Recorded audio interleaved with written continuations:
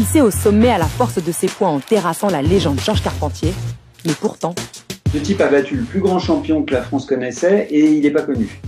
ce Français champion du monde de boxe a été effacé des archives sportives. Pourquoi?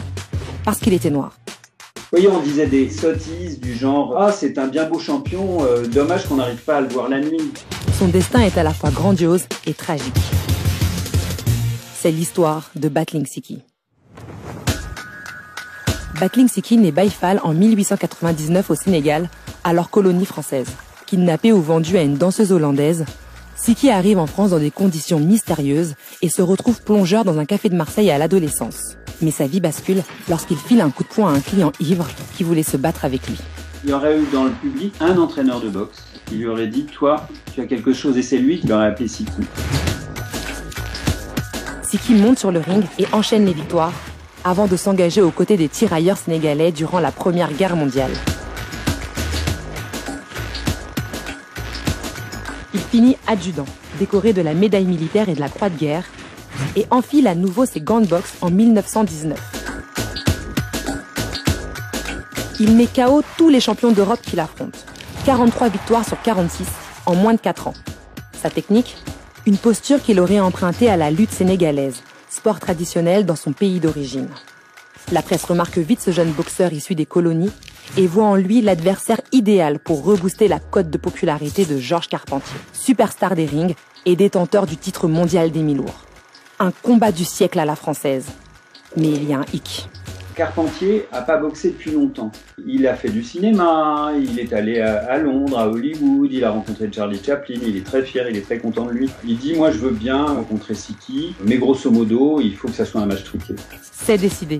Ce sera le retour du chouchou de la nation et il va mettre la raclée de sa vie à cet outsider noir. Siki n'a pas d'autre option s'il veut se mesurer à la star française. Au pied du mur, il accepte le marché. Le combat se déroule à guichet fermé au stade Buffalo de Montrouge le soir du 24 septembre 1922. Paul Vaillant-Couturier, Ernest Hemingway, Miss et même Ho Chi Minh font partie des 50 000 spectateurs. La mascarade commence. Sur le ring, Carpentier domine les échanges et Siki se couche dès les premiers rounds, comme prévu. Siki avait accepté de perdre, mais il avait mis une condition c'était que Carpentier ne le frappe pas.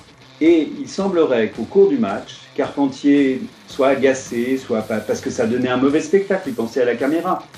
S'est mis à cogner. Et là, Siki lui a dit arrêter. Et Carpentier a continué, et Siki a cogné. Le deal ne tient plus. Siki dévoile sa force et envoie des uppercuts à Carpentier. Il sort sur civière au sixième round à la surprise générale. Il était en sang. En tombant, il a chuté contre la suie de Siki. Il a appelé l'arbitre pour dire que Siki avait triché, qu'il lui avait fait un croche-patte. L'arbitre avait décidé de disqualifier Siki. Et le public s'est mis à hurler et a dit Siki, Siki, Siki. L'arbitre a été forcé d'inverser le résultat et Siki est devenu champion du monde. Le premier Africain champion de France, champion d'Europe et champion du monde de boxe. Cette victoire aurait dû le faire entrer dans l'histoire. Mais pour la France coloniale des années 20, c'est une humiliation. La Fédération française de boxe ne voulait pas qu'un noir soit champion du monde. Ils ont essayé de le disqualifier en disant qu'il se droguait, en disant qu'il avait une petite amie mineure. Ils l'ont accusé de conduite antisportive et ils l'ont déchu de son titre. Le grand Siki l'indomptable devient la risée de la presse française et internationale. Certains journaux le surnomment Champion Z, contraction de champion et de chimpanzé. D'autres vont jusqu'à prétendre que la victoire du jeune Sénégalais serait due à une différence de squelette entre les blancs et les noirs. Ostracisé et humilié, Siki révèle au grand jour la supercherie du match truqué avec Carpentier. Là, ça a fait un scandale incroyable. Non seulement Carpentier, c'était plus un champion, mais en plus c'était un tricheur. Donc, ils ont rendu son titre à Siki, mais aucun champion n'a voulu l'affronter. Mis sur la touche en France, Siki part affronter le champion en titre irlandais dans une salle remplie de spectateurs armés jusqu'aux dents et à l'affût de ses moindres faits et gestes. Après 20 rounds âprement disputés, le Sénégalais est déclaré vaincu. Il est déchu de tous ses titres. Les officiels de la boxe jubilent et ne mentionneront plus jamais le nom de Battling Siki dans les encyclopédies sportives.